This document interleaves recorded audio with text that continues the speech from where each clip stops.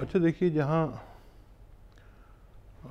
एक इंटरनल इलाज, एक एक्सटर्नल और वो ये है कि रोज़ एक नारियल पानी पीजिए।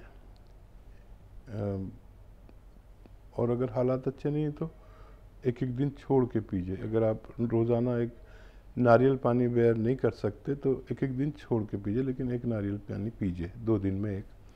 रोज़ पी सकते हैं तो रोज़ पीजिए।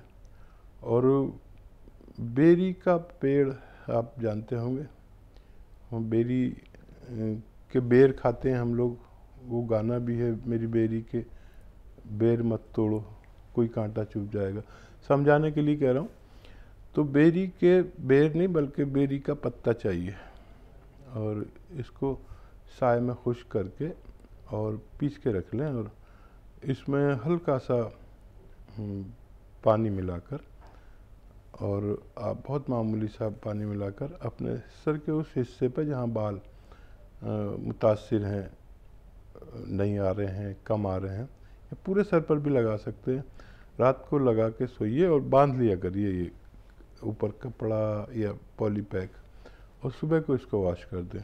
ये अमल आप लगातार करते जाइए और जब आपके बाल उगने लगें तो हमें इतला दीजिए। हम भी खुश हो जाएँगे और आगे की मदद भी कर पाएँगे।